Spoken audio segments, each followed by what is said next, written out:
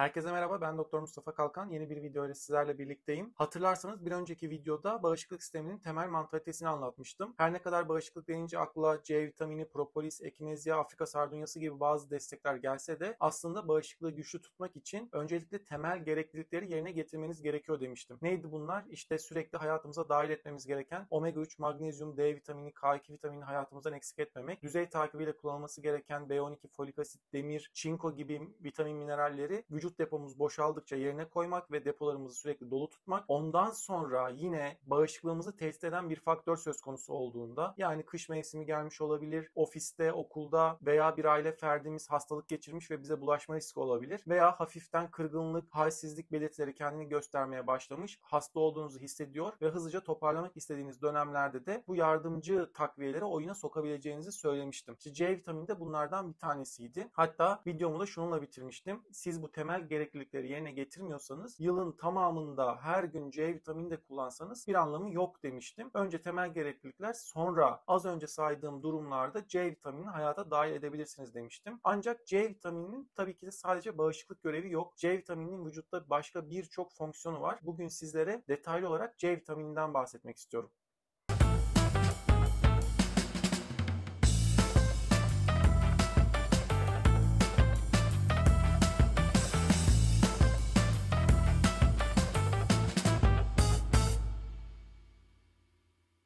Videoya geçmeden önce size bir gelişmeden bahsetmek istiyorum. Bundan sonra kanalımı katıl butonuyla da destekleyebilir. Bu gibi içeriklerin devam etmesi için kanalımı destekleyebilirsiniz. Bu ayda kanalıma katıl butonuyla abone olan bazı takipçilerim var. Onlara da ayrıca teşekkür etmek istiyorum. Aysun Arı, Abdullah Uzun, Hale Hanım seviye 3'ten katıldığınız için ayrıca teşekkürler. Mustafa Saltoğlu ve Verda kullanıcı isimli takipçime de ayrıca teşekkürler. Sizler de kanalıma katıldığınızda gelecek videolarda sizlerden de bahsetmekten mutluluk duyacağım. Gelin videoya geçelim. C vitamini nedir? C vitamini normalde vücudumuzda sentezlenemeyen, dışarıdan almaya muhtaç olduğumuz suda eriyen bir vitamindir. Ne demek suda eriyen vitamin? Tabii ki de bu bu takviyeyi suda eritimi için anlamında suda erir demek değil. Vücudumuzdaki vitaminleri biz suda eriyen ve idrarla atılanlar ve yağ dokuda depolananlar olarak ikiye ayırıyoruz. İşte suda eriyip idrarla birlikte fazlası vücuttan atılan vitaminlerden bir tanesi C vitamini. C vitamininin vücutta birçok görevi var. Bu görevlerinin en başında belki de toplum olarak da en fazla bildiğimiz faydası olan bağışıklık faydası yatmakta. Bağışıklık hücreleri olan ak yuvarların görevini tam anlamıyla yapabilmesi için C vitaminine ihtiyaç var ve özellikle bazı bağışıklığı tehdit eden durumlarda herhangi bir enfeksiyon tehdidi oluşturan bir dönem olabilir. Bağışıklık sistemini zayıflatan herhangi bir faktör söz konusu olabilir. Bu gibi durumlarda hayata dahil edebileceğimiz ve bağışıklık sistemi için kullanabileceğimiz bir vitamin C vitamini. C vitamini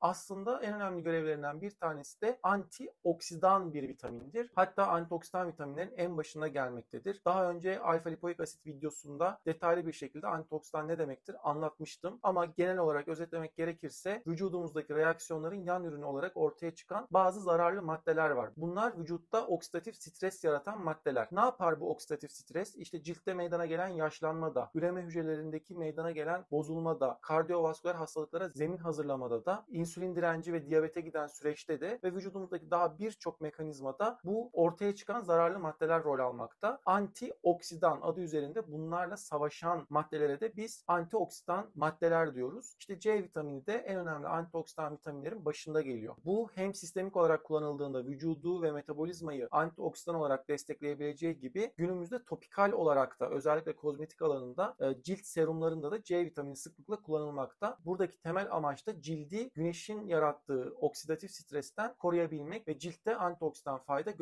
görebilmekte yatıyor. Hazır cilt demişken C vitamini aynı zamanda kolajen oluşumuna da katkıda bulunmaktadır. Kolajenler biliyorsunuz bizim kemikte, ciltte, eklemlerde ve vücudumuzda birçok yerde bulunan bağ dokumuzun temel elemanları, vücudumuzun gerginliğini, sağlamlığını, elastikiyetini sağlayan temel yapı taşları. Aslında C vitamininin keşfedilme hikayesi de buraya dayanmakta. Haçlı seferleri zamanında uzun gemi yolculukları yapan, mürettebatta meydana gelen ciltte problemler, diş etlerinde kolay kanama, hal halsizlik, yorgunluk ve enfeksiyonlara yatkınlık gibi belirtiler olduğu gösterilmiş. Bu gemi yolculukları da meyve ve sebze açısından çok zengin olmadan genellikle kuru bakliyat tüketilerek yapılan gemi yolculuklarıydı. Ve işte burada bunun meyvelerde bulunan bir vitamin eksikliğine bağlı olabileceği düşünülerek sonrasında turunçgillerin bu hastalıkları engellediği gösterilmiş ve C vitamini keşfedilme hikayesi de bu kolajen üretimindeki eksikliğin gösterdiği semptomlara ve yine C vitamininin bağışıklık sistemindeki ve cilt üzerindeki etkilerine dayanmakta. İşte C vitamini kolajen oluşumunda en önemli yapı taşlarından bir tanesidir.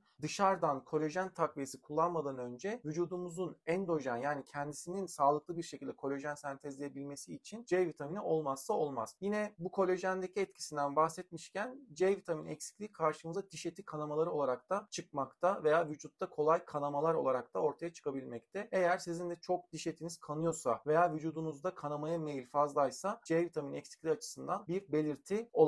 C vitamini yine enerji üretiminde oldukça önemli bir vitamin. Günlük enerjimizin yerinde olması ve zinde olma anlamında da C vitamini vücuttaki bazı reaksiyonlarda görev almakta. Tabii C vitamininin vücutta birlikte çalıştığı bazı vitamin ve mineraller de var. Bunların en başında demir geliyor. C vitamini demirin emilimini artırmaktadır. Hatta demir ilacı kullandıktan sonra portakal suyu içilmesi vesaire önerilerini görmüşsünüzdür. Her ne kadar ben C vitamini almak adına portakal suyu içilmesini çok tavsiye etmesem de çünkü portakal suyu içerken C vitamini alacağım diye aynı zamanda yüksek oranda da fruktoz alıyoruz. Yani birkaç tane portakal yemiş gibi aslında fruktoza maruz kalıyoruz. Bu nedenle C vitamini eklenmiş bir demir takviyesi kullanmak elde edilen faydayı daha da artıracaktır. Aynı zamanda C vitamini folik asitin emilimini de artırmakta. İşte yeşilliğe limon sıkmaktaki temel mantık da aslında hem tat anlamında belki bize güzel geliyor ama aynı zamanda o yeşillikteki folik asitlerin emilimini de C vitamini artırmakta. Bunun gibi C vitaminin birlikte çalıştığı vitamin ve mineraller de bulunuyor. Peki C vitaminini nasıl kullanalım? Hangi formda kullanalım ve hangi dozda kullanalım? Gelin videonun gelecek kısmında biraz da buna değinelim. Tabii C vitamini almak için bazı doğal alternatifler var. Özellikle hepimizin bildiği gibi turunçgiller C vitamini açısından zengin. Ama bunun yanında özellikle yeşilliklerde de C vitamini bulunuyor. Yine biberde, kapya biberde ve yeşil biberde. Aynı zamanda brokoli, lahana, ıspanak gibi sebzeler de C vitamini açısından zengin. Tabii ki hep söylediğim gibi hiç bunları hayata dahil etmemek yerine bunları dahil etmek bir dersek yani hiç yoktan iyidir. Bir sıfırdan büyüktür. Ama ekstra C vitamini takviyesi kullanmak belki 100 derecesinde, 1000 derecesinde tabii daha etkili. Hem biraz önce de anlattığım gibi yani C vitamini almak için portakal suyu içmek aynı zamanda yüksek oranda fruktoz almamıza da neden oluyor. Belki burada sebzeler meyvelere göre daha masum ama dediğim gibi bir sıfırdan büyüktür. Takviye olarak kullanmak da belki 100 derece, 1000 derece daha etkili. Yüzde birden çok çok daha büyüktür. O nedenle şimdi takviye olarak bunu nasıl kullanabiliriz? Biraz da buna değinmekte fayda var. C vitamini alternatiflerini aslında temelde 3 dereceye ayırabiliriz. Bunların en başında standart L-askorbik asit gelmekte. Yani en basit C vitamini formu. Ham madde olarak klasik askorbik asitten bahsediyorum. Bunun şurup olması, efervesan tablet olması, kapsül olması vesaire sonucu çok değiştirmiyor. Bizim halkımızda genelde efervesan tabletlerin daha iyi, daha etkili olduğuna dair bir algı var. Neden? O suya attığında onun foş diye böyle çözünmesi daha etkiliymiş gibi gelse de siz bunu ha şurup olarak kullanmışsınız, ha efervesan tablet olarak kullanmışsınız, ha normal tablet olarak kullanmışsınız. Sonuçta bu L-askorbik asittir ve emilimi en az olan C vitamini formlarından bir tanesidir. Nispeten daha orta karar yani klasik L-askorbik asite göre emilimi artırılmış hem yağda hem suda çözülmeyi başarabilmiş bazı C vitamini formlar da var. Bunlar ester C ve pürvey C dediğimiz bazı orta segment C vitamini alternatifleri de var. Ester C kalsiyum L-askorbat yani kalsiyumla zenginleştirilmiş bir C vitamini formu.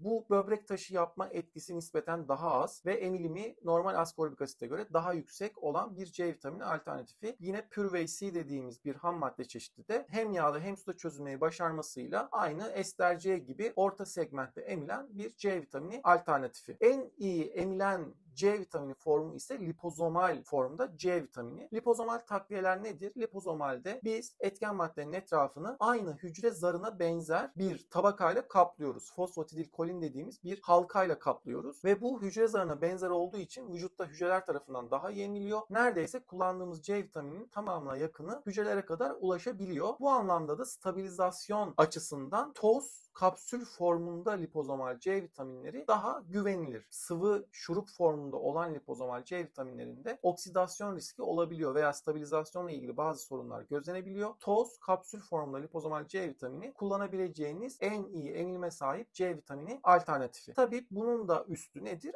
IV yani damardan C vitamini yaptırmak. Hiçbir oral takviye yani ağızdan yutan hiçbir takviye IV kadar etkili olamaz. IV demek %100 biyoyararlanım demek. Yani siz direkt bunu damara veriyorsunuz. Ama IV yani damar içine en yakın C vitamini kullanma yöntemi de lipozomal kapsül formunda C vitamini kullanmak. Peki ne kadar kullanalım? Normalde günlük önerilen C vitamini kullanımı 80-90 mg civarında. Bu 80-90 mg'ı gören bazı kişiler yüksek doza peki gerek var mı? Bak 80 mg yeterliymiş diye söyleyebiliyorlar. Bu 80 mg bizim yaşam fonksiyonlarını devam ettirebilmemiz için gereken en düşük doz. Yani aynı o gemicilerde tarihte gözlenen skorbit gibi rahatsızlıkların gelişmemesi için veya vücudumuzda sağlıklı kolajen sentezlenebilmesi için bağışıklık sisteminin temel fonksiyonlarının yerine gelebilmesi için gereken en düşük doz. Ama biz bazı durumlarda işte videonun en başında söylediğim gibi bağışıklık sistemini desteklemek istediğimiz özel durumlarda bir hastalık riski olduğunda, etrafımızda biri hasta olduğunda, vücudumuzda halsizlik, kırgınlık, yorgunluk hissettiğimizde 500 mg veya 1000 mg gibi yüksek dozlarda C vitaminini hayatımıza dahil edebiliriz. Aynı zamanda sigara kullanmak, vücutta kronik hastalıklar olması da C vitamini ihtiyacını artırmaktadır. Neden? Siz sigara kullandığınızda vücudunuzda oksidasyon meydana geliyor. Bununla savaşan maddelerde adı üzerinde antioksidan maddeler. Bu gibi kişilerde de C vitamini yüksek dozda kullanılabilir. Esasen C vitamini oldukça güvenli bir vitamin. Ne dedik? Zaten fazlası idrarla birlikte atılıyor. Zaten C vitamini siz ihtiyacınızdan fazla kullandığınızda özellikle oral yoldan yutulan bir preparatı ihtiyacınızdan fazla kullandığınızda bağırsaklarınız bunu ememeyecek ve ishal olacaksınızdır. Yani en kötü ihtimalle ishal olursunuz ve en kötü ihtimalle zaten fazla kullandığınız C vitamini idrarla birlikte atılacaktır. O nedenle C vitamini güvenli bir vitamin. C vitamini ile ilgili temel olarak anlatacaklarım bu kadar. Kanalıma abone olur ve bildirimleri açarsanız gelecek videolardan ilk siz haberdar olabilirsiniz. Ayrıca takviyelerle ilgili kafanıza takılan soruları tarafımca kaleme alınan Akılcı Bilimsel Takviye Rehberi isimli kitaptan detaylı bir şekilde okuyabilirsiniz. Beni Instagram DR Mustafa Kalkan kanalından da takip edebilirsiniz. Gelecek videolarda görüşmek üzere. Hoşçakalın, sağlıkla kalın.